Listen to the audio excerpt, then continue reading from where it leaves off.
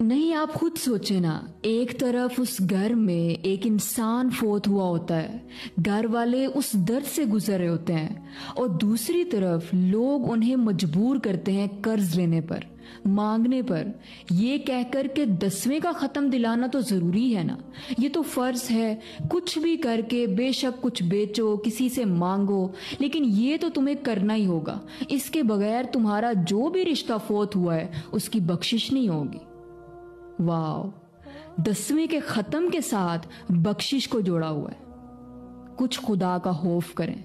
जब दीन आपको आसानी दे रहा है, अल्लाह और अल्लाह के रसूल सल्लल्लाहु अलैहि वसल्लम ने आपको आसान दीन दिया है तो फिर आप कौन होते हैं लोगों के लिए मुश्किल बनाने वाले, लोगों पर बोझ डालने वाले?